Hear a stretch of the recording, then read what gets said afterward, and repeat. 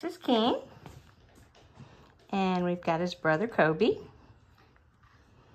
Yes. They're not in the mood to do much right now.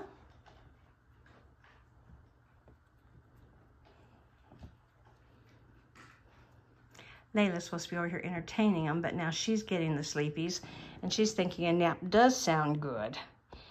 You're supposed to be doing stuff.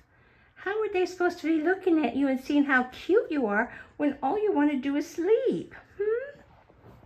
You can't just be sleeping all the time. Pretty baby. Not gonna play.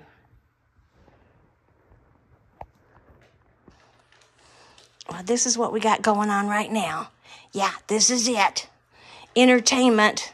This litter is not your wild and crazy pups. No, they're the quiet ones.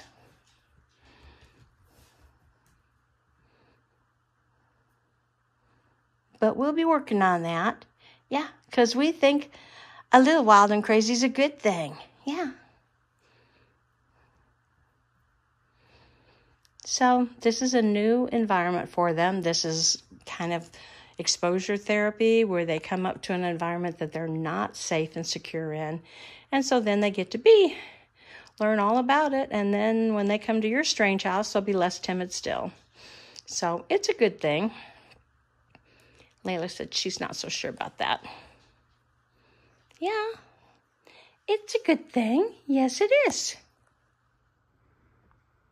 King is going to try to wake them all up. Come on, King, get those baby girls up. Get your brothers up.